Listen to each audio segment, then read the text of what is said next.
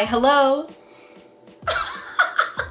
welcome or welcome back to my channel. My name is Jess and today we're talking about adaptations. So, um, yes, do you like my shirt? It's not for sale, sorry.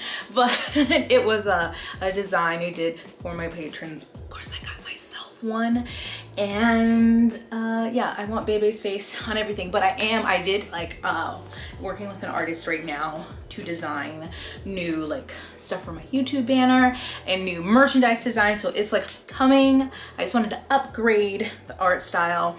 But anyway so adaptations. I really feel like hollywood is flat out of original ideas. And if it's not marvel a remake of a movie no one wanted, it is a book adaptation, which is good for us readers, I guess, even though not all adaptations are created equally. So I did one at the end of December, I think, that was adaptations coming out this year for books that I want to read. So if you want to watch that video, I'll have it uh, linked below above, maybe both.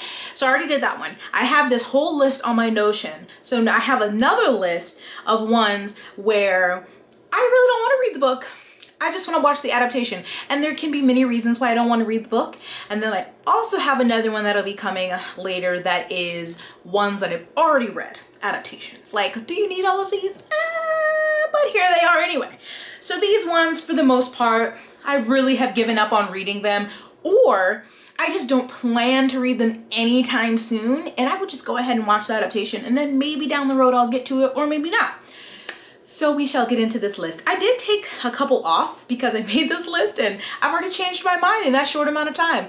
So at the top of my list, I have Heartstopper by Alice Oseman. I think this is a super popular. Most people know about this one. It is a graphic novel series, I believe, and I think it is a queer romance between Nick and Charlie, and I always hear people say it's so cute, it's so sweet, and so I just think it would be something enjoyable to watch. I really don't care to read it. I'm also not a big like graphic novel reader. Um, so I have that, I don't have a date, but it is supposed to be on Netflix. So it just seems like something like wholesome, feel good that I could watch. And yeah, I mean, I will say the graphic novels like themselves look really cute and like the colors, but just never really had interest in reading them, but I definitely would watch it on Netflix. So I don't know when that's coming, but hopefully soonish because I'm in the mood for a little happy, fluffy romance. Then I have House of the Dragon which is obviously based on Fire and Blood by George R. R. Martin, which I own. It's up there. I have not read it, mainly because I don't want to read anything in that world because then I'm going to go back and want to read the series and then remember that George is still not that, that George is still not giving us Winds of Winter or Dreams of Spring. So, who? I don't know when this, I know this one is coming out this year, but I don't know the date. If it's coming out in the spring or in the fall, I didn't see the date. But essentially, Fire and Blood is like 200 years? Is it 200 years? Before Game of Thrones and is following the Targaryens.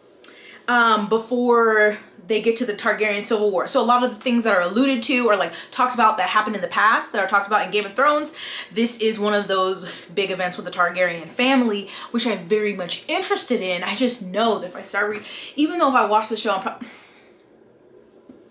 I don't know, y'all. I want to read it. I want to watch it, but I also just want him to give me those last two books. I know. I know. Authors don't owe us anything, but I want it so bad. Please. It's just two books, George. It's just two books. So anyway, whenever that comes out, um, I shall partake in that and hopefully it's not so, I look, I'm so tired of TV being dark, TV and movies. I'm like, look, these are not getting any crisper. Please stop making everything so damn dark. I can't see. Uh, so we'll see how that goes. And hopefully the wigs are on point. Because we know in Game of Thrones they started out rough. Okay? Next, I have The Lost Apothecary. I remember, I think this was a book of the month pick. I think the cover was really pretty. And it's by Sarah Penner. And it's becoming a series on Fox. Here's the issue. I don't want to read the book. I wouldn't watch this, but Fox, like... What stream? Is it to be on Hulu? Can I watch it on Hulu after it airs on Fox? But it's supposed to be a series on Fox. So the book is centered around a secret apothecary shop that caters to, I think it's about women who like go to this apothecary to get poisons to basically kill men, which you know, I'm here for that. Um, I think. this says, but the apothecary's fate is jeopardized when her newest patron, a precocious 12-year-old, makes a fatal mistake, sparking a string of consequences that echo through the centuries. So this is set, I don't know what century it's set in. Is it like the 1800s or something? I just, I do remember a few people reading it and it sounded, nah, it sounded okay. And had nothing that I would really love to watch, but it sounds very interesting. And if John Wright could be a really, I mean, I don't know how long of a series, if it's like a mini series or gonna be like multiple seasons. I would feel like one book would translate well into a movie. But I don't know. I'm just intrigued by that premise, but thrown off by the 12 year old. So I don't know. Any, if you've read any of these books and you know have any thoughts on if they're going to make great great adaptations or if you're excited about any of these, of course, let me know. Then I have, this one technically has an asterisk beside it because I do have the audiobook that I got from Libro FM, but I'm like, do I really want to read it? And it's Malibu Rising by Taylor Jenkins Reid, who's getting so many of her books adapted on various different networks. So this one's gonna be on Hulu. And this book, I think is vaguely related to, there might be a character from Daisy Jones and the Six, which I didn't read, don't have interest in that. And there's something about this is like a story that all happens in one day or something something like a block party and a fire i don't really know i know people who love Tinkins, Jail Tinkins Jailor Reid Taylor Jenkins reed I heard for the most part really good things about it. I think it won the historical fiction category for Goodreads because anytime a book comes out, they're really popular. I've read two books by her and I enjoyed them, but yeah, the last two really haven't wowed me. And I don't even know if I would watch Daisy Jones and the Six adaptation. I don't even have it on my list because mm, I don't know. But then I think the guy who played Finnick Odair from Hunger Games is in it. So maybe I should have put it on my list. We'll see. I'll see a preview and see how I feel. But anyway, I put Malibu Rising on here. Uh, we'll see. If it's a movie, it's gonna be a show or a movie. I don't know. Well, I don't know. You know, this is, there's nothing set in stone here. These are just things that I'm interested in. And also, there are so many more adaptations. Like, there's so many. So these are just ones that I was like, huh, you know, I've heard of that, or this premise sounds cool. I would like to see it. Then I have The Midnight Club by Christopher Pike. This is a book that was written in the 90s and it's a think it's a horror novel and it's being ad adapted on Netflix by Mike Flanagan. And if you know Mike Flanagan, he did The Haunting of Hill House. Did he also do Bly, Bly, Man Bly Manor? And he did recently, it was Midnight Mass, which I did not there were some aspects I really liked. I didn't love it, but I loved The Haunting of Hill House. Oh my God. Oh my God, a masterpiece. So this one, um, a series, oh, I guess it's based on a series of book by Christopher Pike. Apparently it's about a group of terminally ill teenagers who are residents at Rotterham House and together they create the Midnight Club. We meet in secret at midnight to tell horror stories. I basically, my friend Carrie told me about this because of me watching and enjoying other things by Mike Flanagan. So I feel like even if I don't love it like The Haunting of Hill House, it'll still be great because of who Mike Flanagan is and the work that he does. So I'm very interested to see that. Then this one, I had never heard of this book, but I have heard of the author, which is Colson Whitehead. And the book is called Sag Harbor. So this is going to be on HBO and it's his fourth book. And the story follows Benji Cooper, who's a black teenager from New York City, who spends the summers in Sag Harbor with his brother, Reggie, and the rest of his family. And this is what really got me. Benji and Reggie are some of the few black students at their preppy private school in New York City, and the novel is set in 1985, explores a small community of well-off African-Americans who set up their own enclave on the East End. So I was like, yes! That sounds just like bougie and good and I want to watch that. Uh, again, I don't. I'm assuming that's going to be a show, but I haven't read that book. Um, it's not like I don't want to read it. I just have no plans to read it soon and it sounds like it could be really good, especially um, on HBO. Like, I don't know if there's some other things that happen in the story, but we got black people who have their own side of the East End.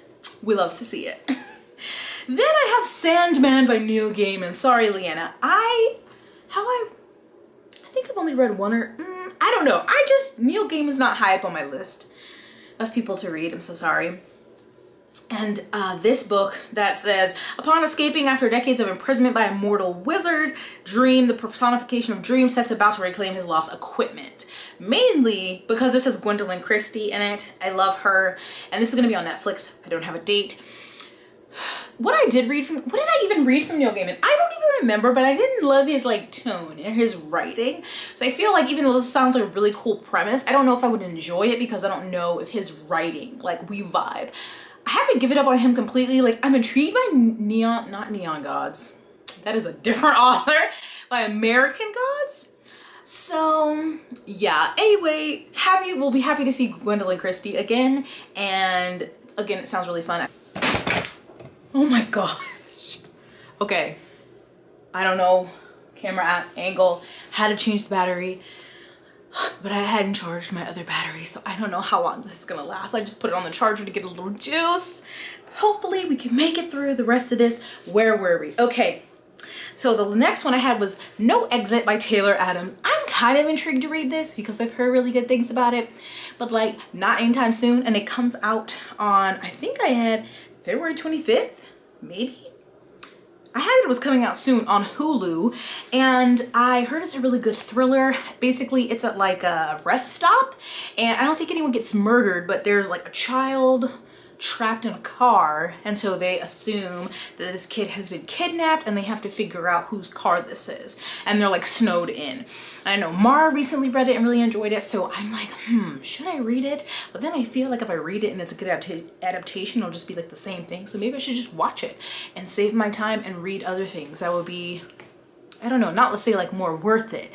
And what do you think? What do you think? And then I have okay the Lord of the Rings adaptation on Amazon. Is it called, I feel like it's called something else. It's coming out in September. Now, if you see my other videos, you know that I did not enjoy The Wheel of Time, which is also by Amazon. However, The Wheel of Time's eight episodes got about $10 million.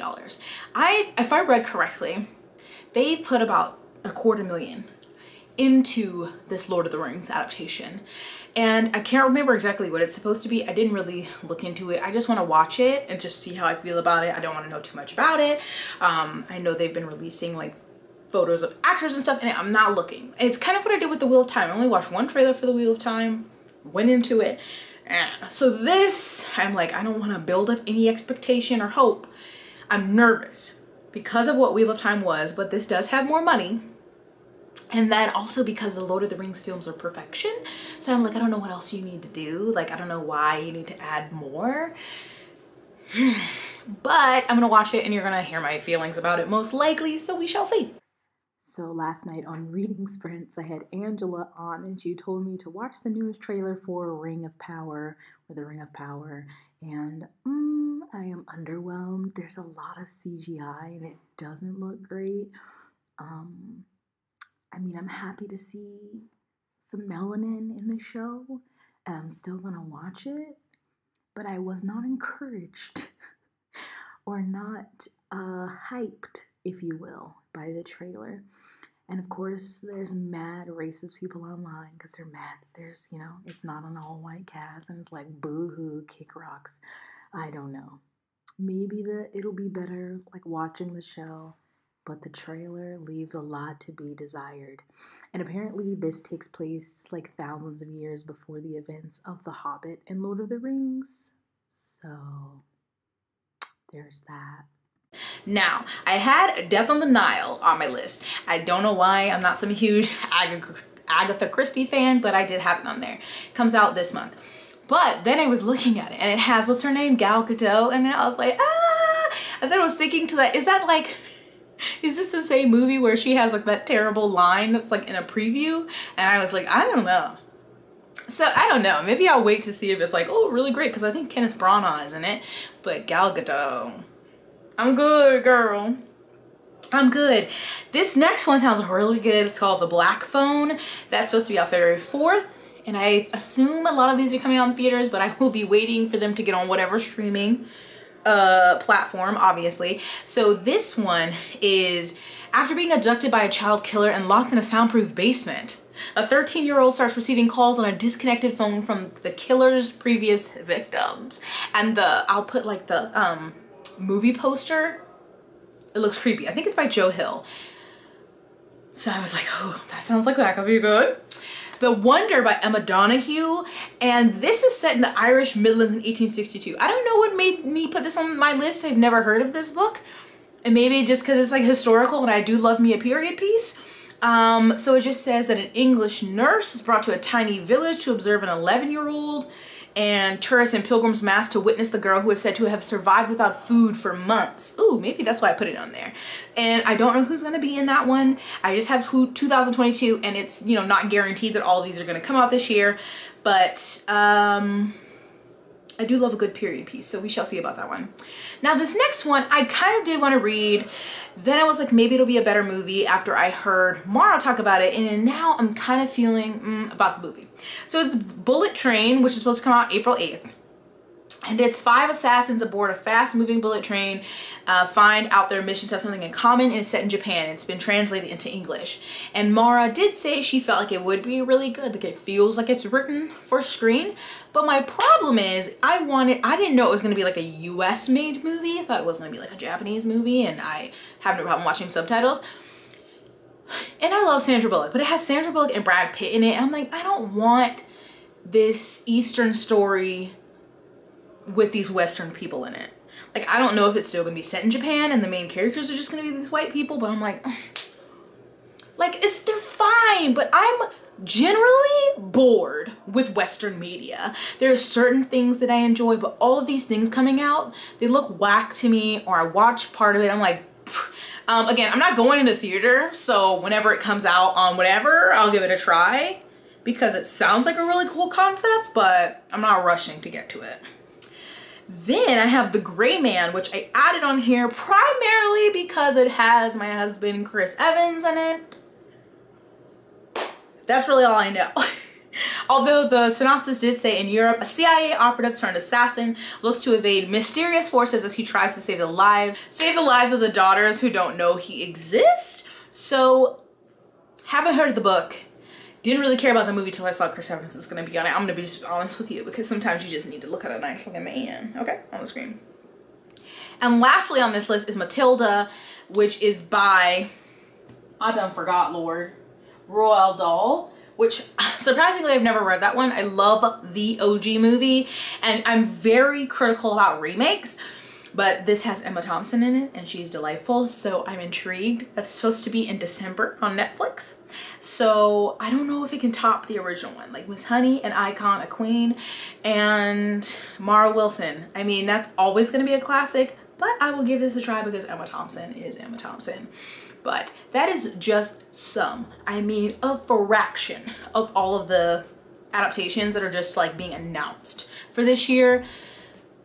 There's so many more and these are ones that I am not particularly one to read or not in any rush. So let me know your thoughts on any of these. Are you excited about any of these or if you've read the book? Like I said, will it be a good ad adaptation? And I will have another video coming. But yeah, Hollywood is like, mm, we don't have any ideas, which is great for these authors, you know, getting their coin by getting the rights purchased. But it's really odd. I was I've talk I was talking to my friend Gary and I've seen this conversation on Twitter about uh, the golden age we had like the early 90s the late 90s early 2000s with the rom-coms like can they not recreate that? Those were iconic and they were like 90 minutes. That's like I need that era of film back. And I, and they everything now is like two and a half hours or more and I'm just like I need a good rom-com back I don't know who's gonna make that happen, but for the most part, I will say that there doesn't seem to be a lot of romance novels being adapted. And I think that is something, since Hollywood can't come up with their own stories, they at least need to delve into the world of romance because there are so many stories out there that they can adapt for really cute movies or some that probably would even be better as a movie because you know the actors could really just embody all of that tension and um pining. So Hollywood, if you're listening, I know they're not listening, please check out the romances actually just come to me and I'll tell you which ones you should adapt. But yeah, anyway, done enough rambling. I hope you enjoyed. Um, I will, some of these probably have some takes, some videos, some discussions on them after they come out. Probably more the fantasy ones like House of the Dragon, Lord of the Rings, but anything else that I feel very strongly about. I'll flat my gums about on this channel. But anyway, thank you so much for watching. Give this video a thumbs up. Think about subscribing. Check out my description. Um, I will list all the books if you want to check them out. Uh, there's ways to support my channel. And I think that's it. Stay blessed, hydrated, moisturized, and sunscreened, and I'll see you in the next one.